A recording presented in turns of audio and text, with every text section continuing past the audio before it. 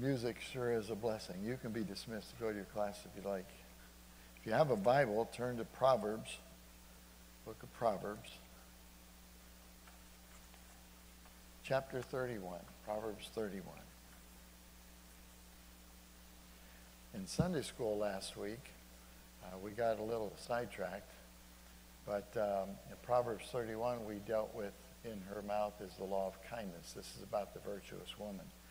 And today I thought I would speak not on the virtuous woman, but the virtuous mother. And uh, there's a lot in Proverbs 31, just wonderful, wonderful tr- truths. But we will begin in verse 10.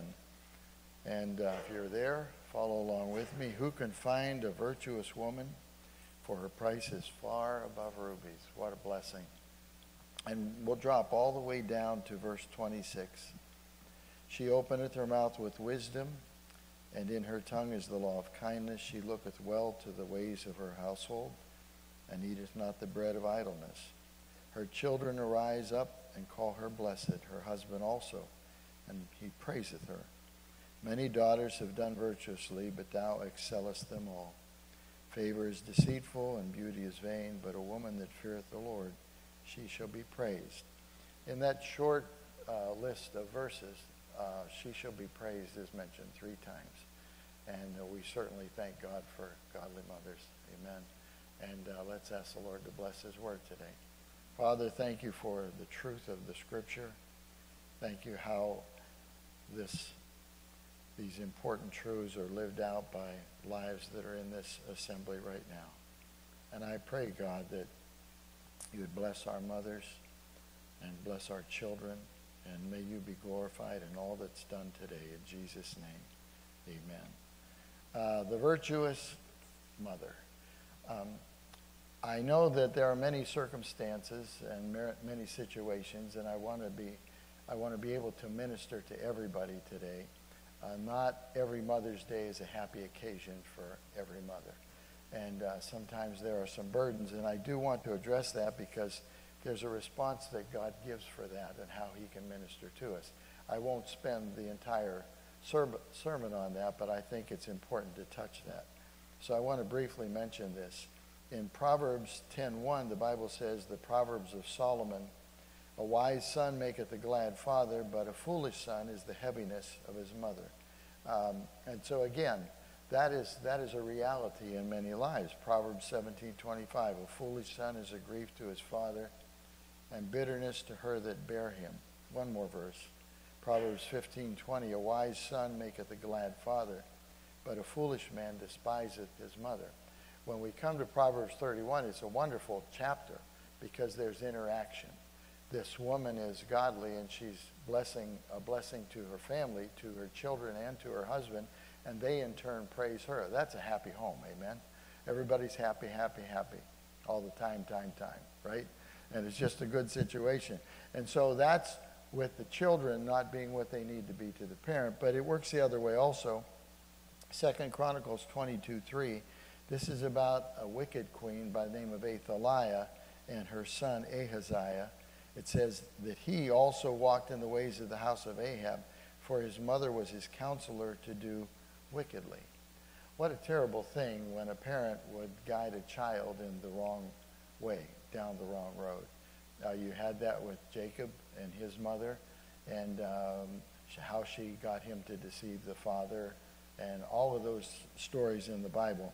But this is how it's supposed to work. Amen. Back to happy, happy, happy all the time, time, time. Um, in Titus chapter 2, the aged women who've been down the road and they know the Lord and they've seen uh, the Bible principles tried and proved over and over it says there in verse 4 that they may teach the young women to be sober, to love their husbands, and to love their children. What a blessing when that takes place. MacArthur wrote this The mother, more than the father, is the one who molds and shapes those little lives from day one.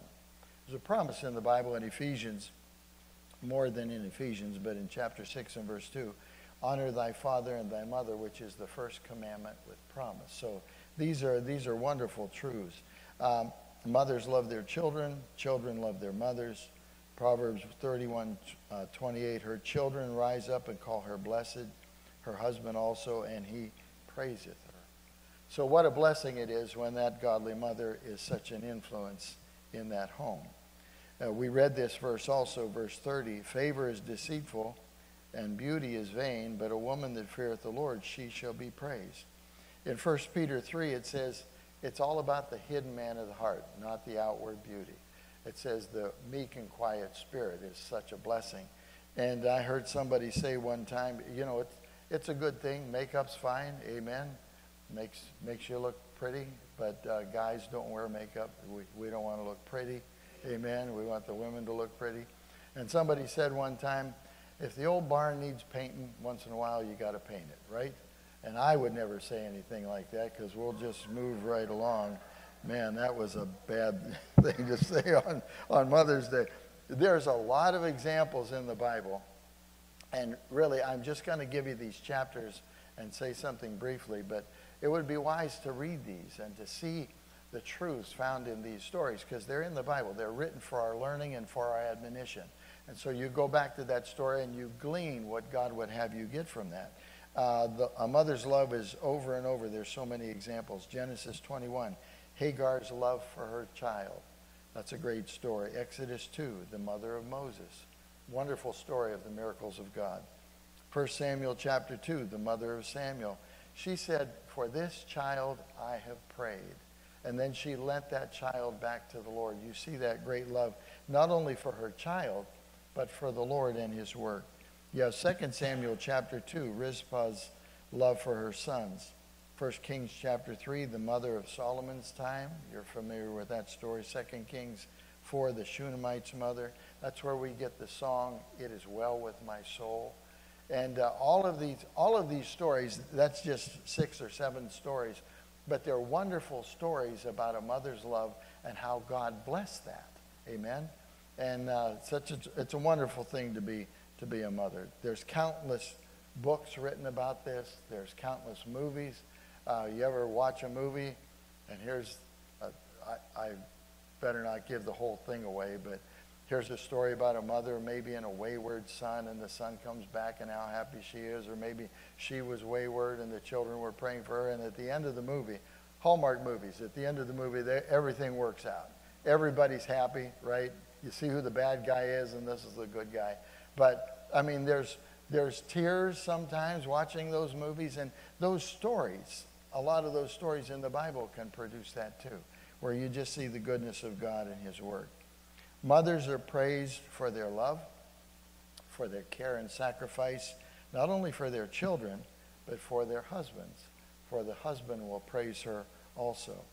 Um, TeKirst wrote, Motherhood is a million little moments that God weaves together with grace, redemption, laughter, tears, and most of all, love. A million little moments. You see those all the time.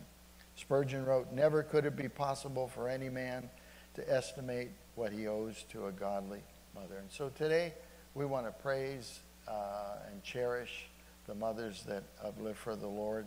Um, my mother passed away. She was 51 years old. She had only been saved for a short period of time. I miss her. I wish she was around. I'd crawl up in her lap and break her leg. But uh, I would still try to do that. It was a, a very tender spot. Um, in Isaiah 49 15, this is what God says Can a woman forget her sucking child that she should not have compassion on the son of her womb? Yea, they may forget, yet will I not forget thee. God will never forget nor forsake us.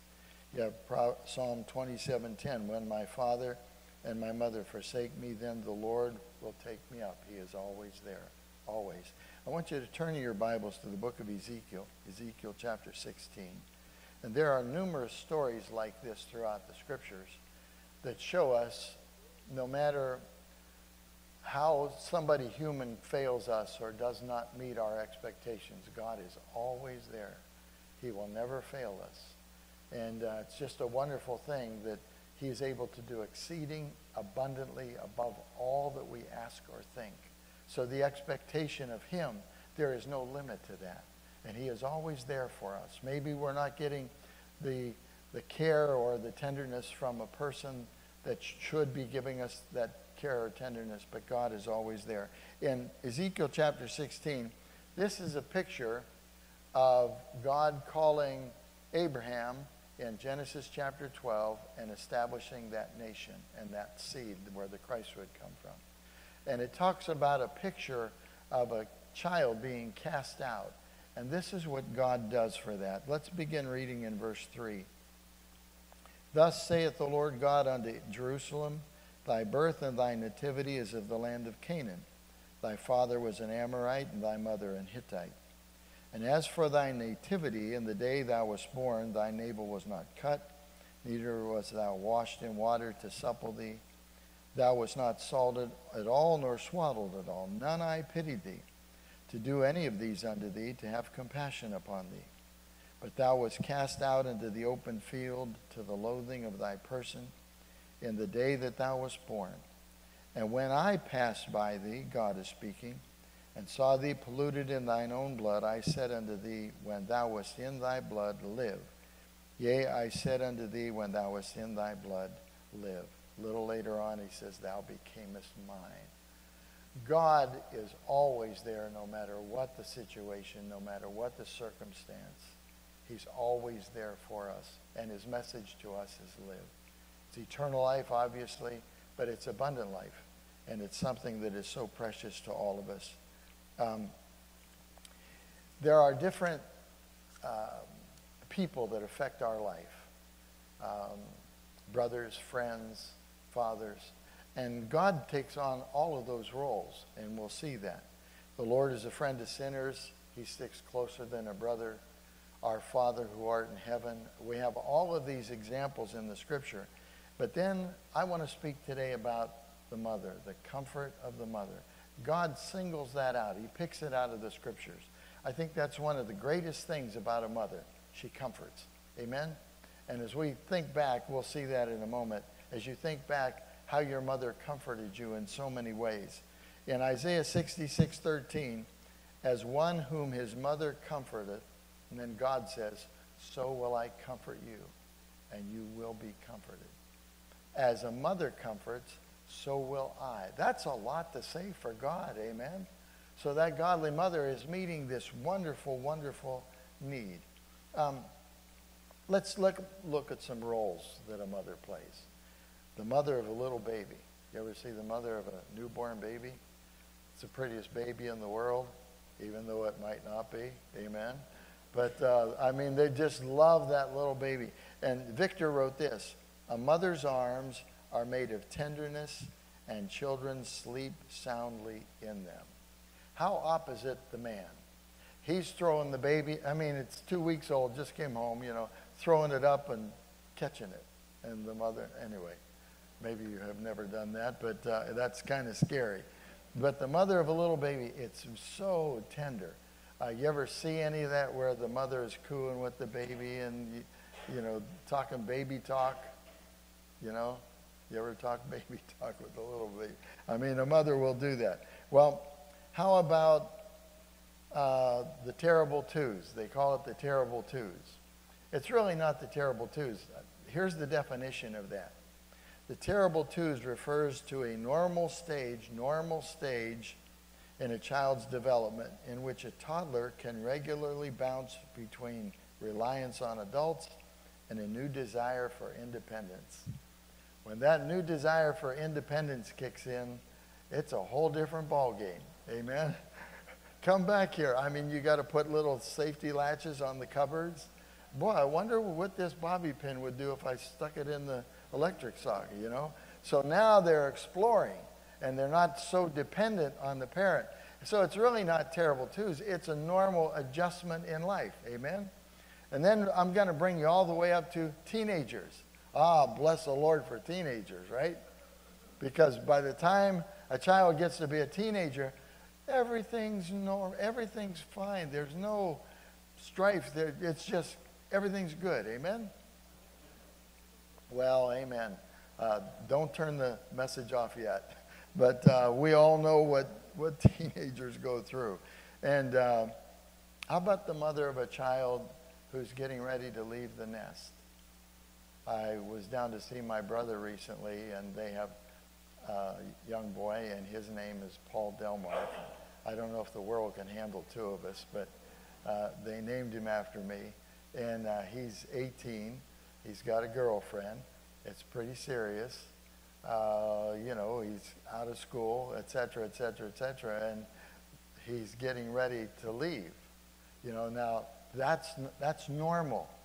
Now, if he's 45, that's not so normal, you know, but if he's, if he's 18, but what does that mother think about? Because, and I know what my, my brother thinks about it. He loves his son, but it's going to leave a hole, amen?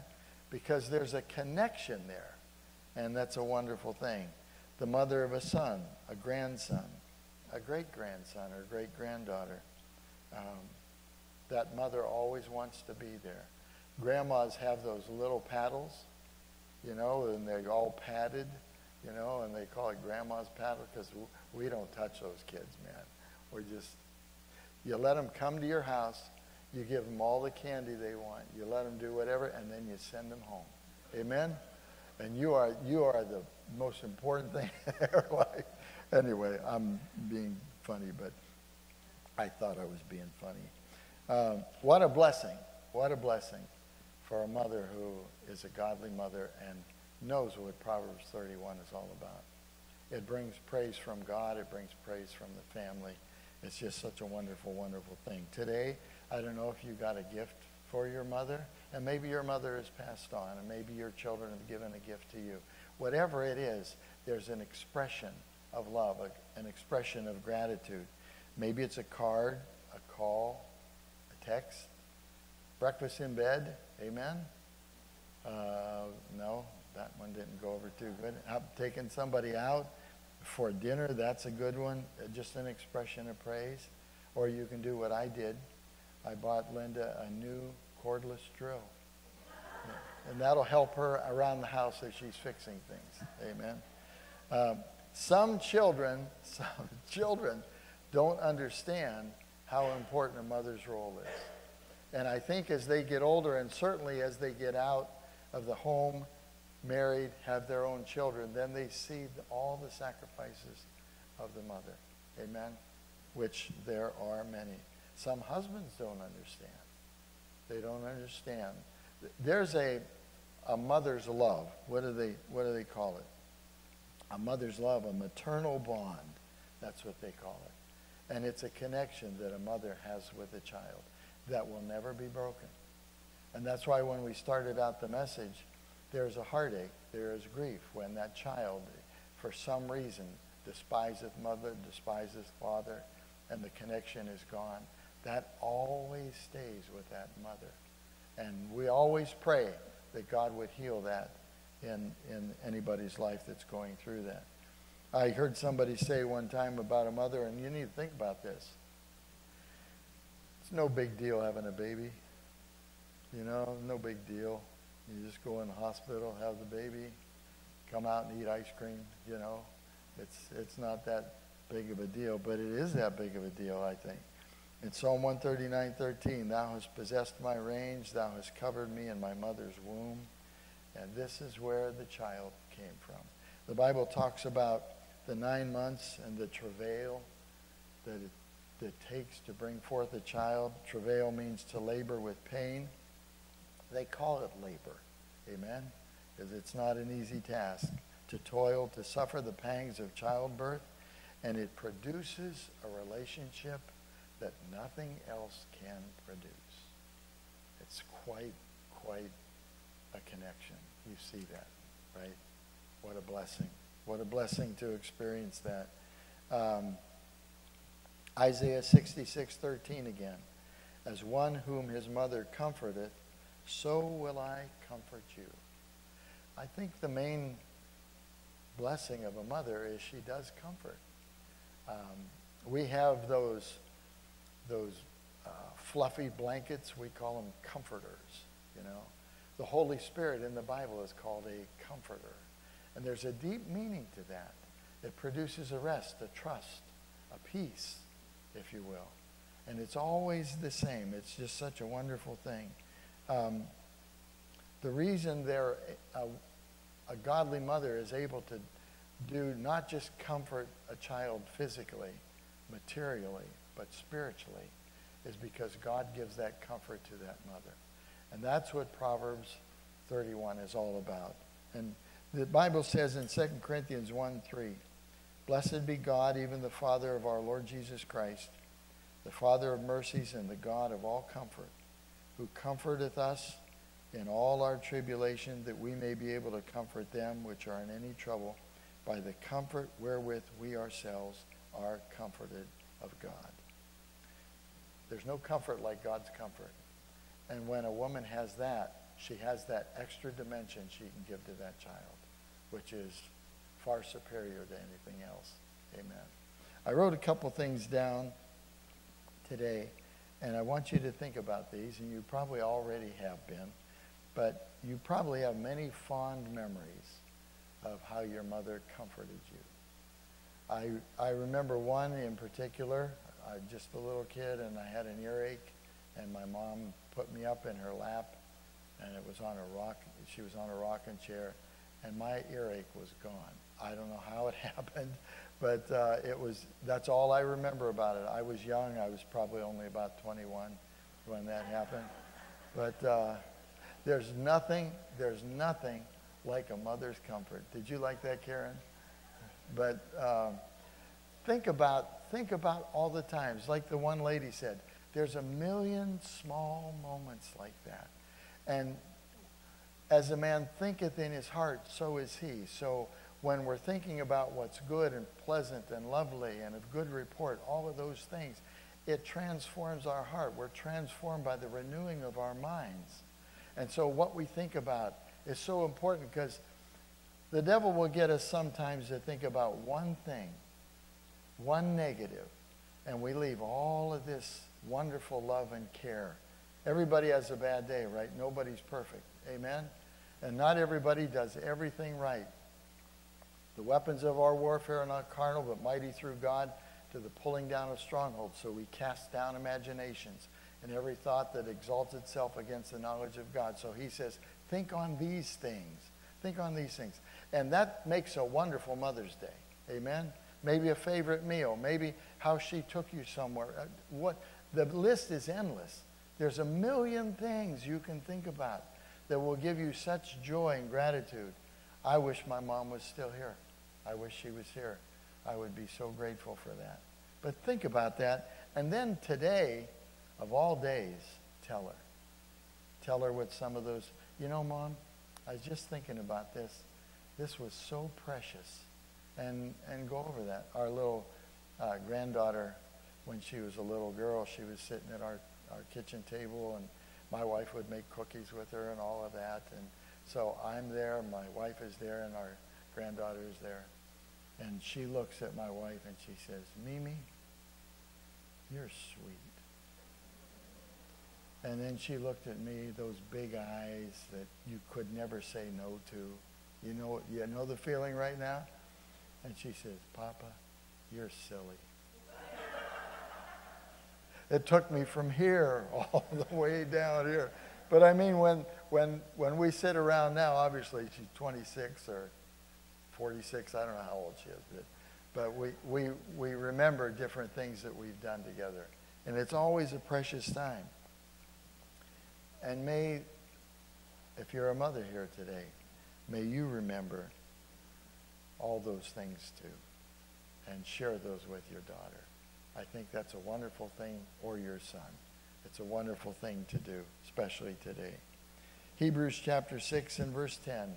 If that cannot happen for you, uh, we've quoted a number of scriptures, but God is not unrighteous to forget your work and labor of love which ye have showed toward his name, in that ye have ministered and do minister.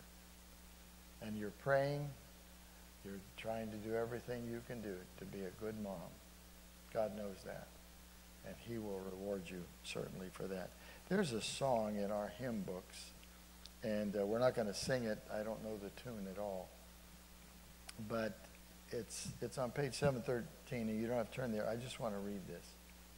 Like as a mother comforteth, O words of gentle worth, so will I comfort you, declares the Lord of all the earth. He bends in faithful watchfulness. He slumbers no, not nor sleeps. Above his trusting child, the Lord a constant vigil keeps. He patient is, as mothers are, who love their children well. Our faults and failings he forgives, his mercies who can tell? Like as a mother, grant, O God, this likeness e'er may be, a holy symbol to declare the love that dwells in thee. That's the Lord. And God does that for us. Amen.